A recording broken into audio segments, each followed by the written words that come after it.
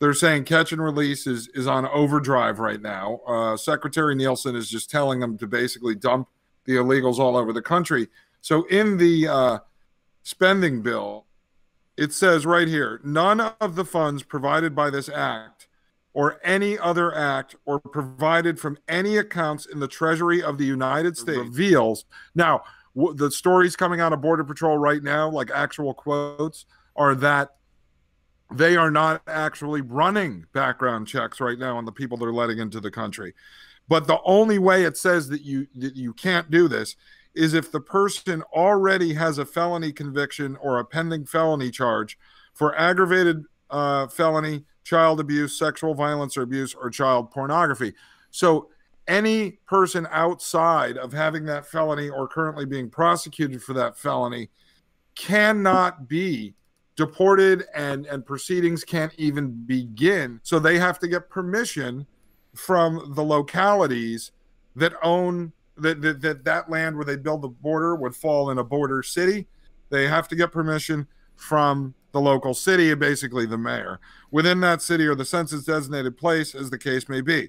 Such consultations shall continue until september 30th 2019 or until agreement is reached if earlier and may be extended beyond that date of September 30th by agreement of the parties, and no funds made available in this act shall be used for such construction while consultations are continuing, meaning it could go on forever.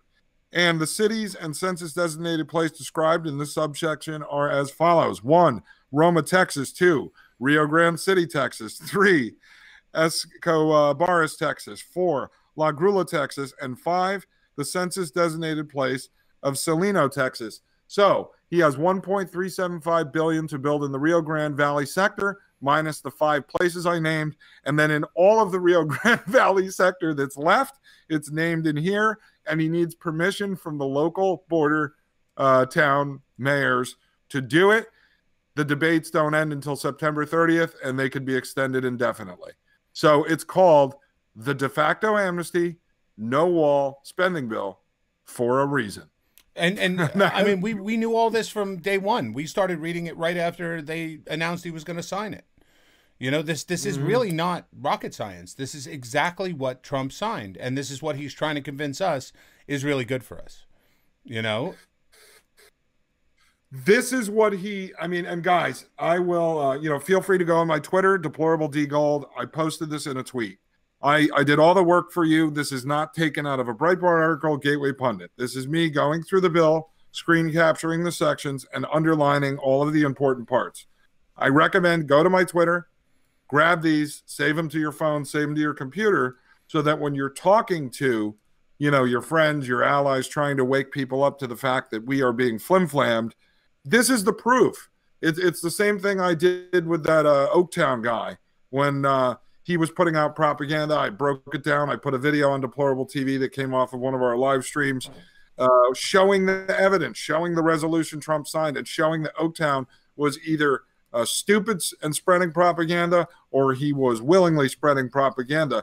But you, the the the bills, the laws don't lie. That's what's in there. Now Donald Trump could defy them. He could put a hundred thousand troops down on the border.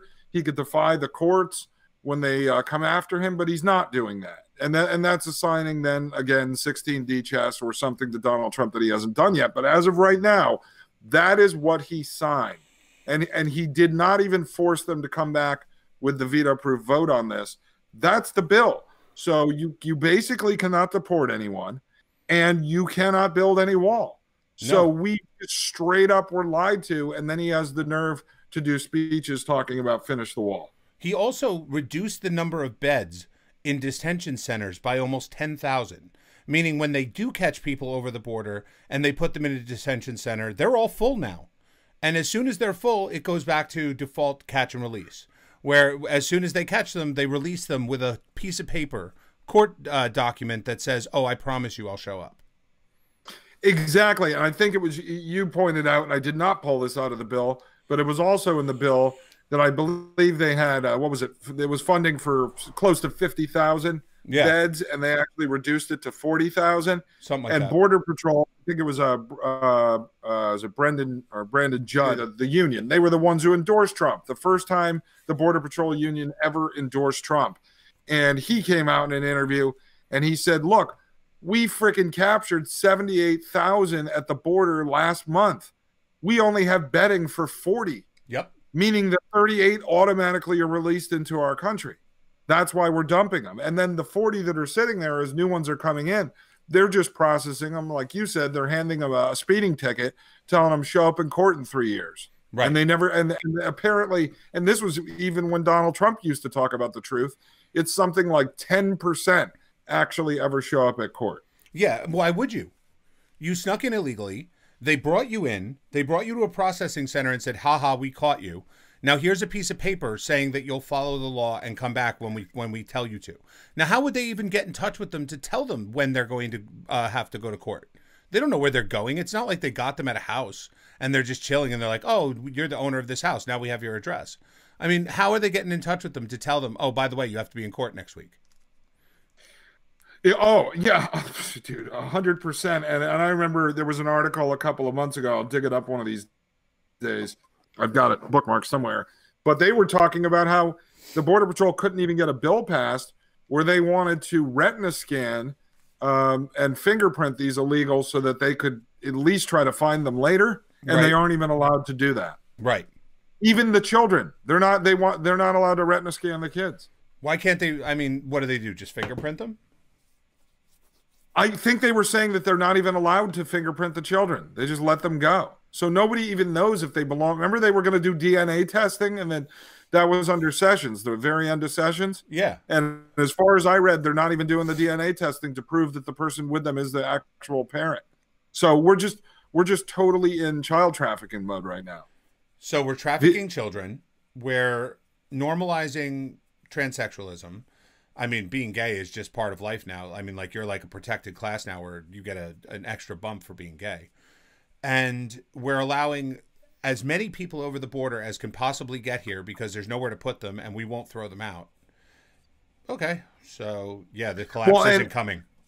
Well, yeah, and, and and here and you know, and here's the other crazy part. I think it was maybe Michelle Malkin or Ann Coulter or Laura or Laura Ingraham. One of them was talking about how basically it's this revolving door of trafficking now because I could walk over the border with uh, a kid, and then the kid back across the border, and they could walk in with you or with Brian. Um, my my stepfather, I told you, is an engineer. My mom and him just bought a house down in Texas, and he wanted to go see the border slat. So he went down there, and he could not believe. He said even the pictures we're seeing are kind of uh, it's kind of an illusion. The actual um, slats are staggered.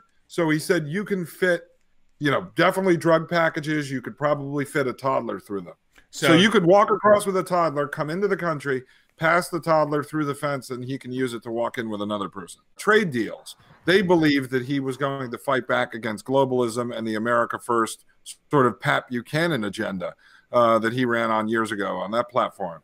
So that's they actually fought him because they thought he was going to do that. Now I would say there were the the we called the Cruz bots back then those were probably the closest to actually attacking Trump from the right direction because they were attacking Trump believing that he was actually a liberal. So, if anything, the Cruz bots get credit for uh, pointing out what Donald Trump has really become. The Never Trumpers were way off. They they believed what we believed that he was going to be America first. they want to enforce an agenda. Okay, they always have, and we always we always knew about it. Like the the right wing always knew what what Paul Ryan was. That was that was never hidden. You know, No. it was just that we always knew there was temperance to him. There was always people that were going to, you know, stand up to him because he wasn't a real conservative. When they elected mm-hmm. Trump, they figured that Ryan would have to get on board, not that Trump would just do whatever Ryan was going to Yeah. do anyway. So no, I don't believe that Jeb would have would have been worse. I believe Trump is the worst case scenario right now of what we could hope for. Even back in the days when Barack Obama was elected, it was uh, this, this was Glenn Beck in his prime before he went like totally crazy. And Glenn Beck even said at the time that he was glad that Barack Obama won over John McCain because he believed McCain would have been more dangerous than Barack Obama because at least Obama was out in the open. The stories were out there about his ties to Reverend Wright, his ties to uh, radicalism, to communist. I mean, in his own words, he admitted to all of that stuff. And that at least it was out in the open and America would see all the destruction happening under a guy who was transparent, where McCain would have done similar things but conservatives would have been asleep because they would have assumed the war hero was in there and everything was fine. Well, now we're in the situation where it's the McCain scenario. We have Donald Trump and people are asleep. I know I will say in the last month, I think since uh, the border issue and Breitbart's been doing a good job of covering this, um, there are people that are starting to uh, wake up to this. People are starting to go, wait, something doesn't smell right. It sucks that it took this long, but uh, I do see it starting to happen now. And the Mueller report, even conservatives, uh, instead of just blindly cheering it, like, awesome, yay, two years, and what do we get? A Cracker Jack prize. Trump isn't a Russian spy. Are starting to go, something doesn't smell right here. What the hell is going on? So, uh, well, think about it. it. The Mueller report spent what, ten billion dollars or fifteen billion dollars, probably even more. You know, now we can't afford a wall because it's just too expensive and we can't afford this and we can't afford that. We can't afford anything, but we can afford a worthless investigation into a point that everybody knew was fake for billions and billions of dollars. We're fine with that. Yeah. You know? Yeah, and you know what's hilarious in in that uh, spending bill I just reviewed? What? Right under the part where it assigns 1.375 billion for the no wall wall. Right. There's 15 billion dollars for repairs on border patrol stations. Oh yeah. 15 billion, that's the wall. 15 billion dollars for repair. They I think for a year now, look at what they've done. They've gotten Trump to to cave on everything. They've gotten him to play ball with the deep state. They've gotten him to hire Bolton and all these people and get rid of everyone else except Kellyanne Conway, whose husband seems to be the leading anti. He's like Tom Steyer at this point, right? I think they gave him a year and they said we'll make sure that you're on board you know with all of this bullshit and for a year they made sure and now they they ended Mueller because now they want Trump to do more like sign more terrible bills but at the same time they're afraid that he might go ballistic. So they're like listen we're still going to keep all the state investigations open. We can still throw all your kids in. All we need to do is pull Manafort out of the loony solitary cell we've got him in you know and he'll he'll spill on whatever we want at this point. So yeah, they're like we gonna, we're gonna take the, the leash off a little bit you know? Yeah, well, exactly. And Brandon Smith brings up this point. They, he says you'd think they could credibly fabricate something, and and here's the whole thing: one, yes, they could fabricate something. Two, they don't need to, because like we said, they, they didn't have to get Trump on being a Russia agent because uh, that's nonsense, or on obstructing justice because he can't obstruct justice on a case that there was no actual crime. They didn't need to fabricate anything. Like we said, they kicked the front door in to his 15 year personal attorney whose office was down the hall from his, literally three doors down in Trump Tower, took all the files out of his house, his storage locker, and his office.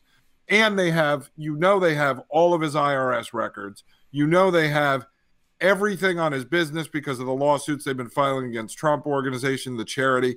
They don't have to fabricate any crime. So you have to ask yourself, after all of this, why didn't Mueller come out with a number of crimes that at least they had a reason to say, hey, let's impeach him?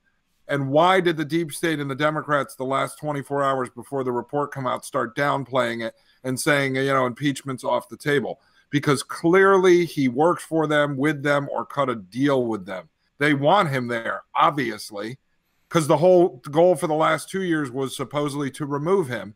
And then Mueller comes out and now they want him there. And people say, oh, maybe Mueller was a gray hat. I'm like, well, a gray hat to what? Clear him, but then not arrest Hillary and the rest of them that actually did commit crimes, of which we know about, of which Comey put on the record. Like, we know these people committed crimes.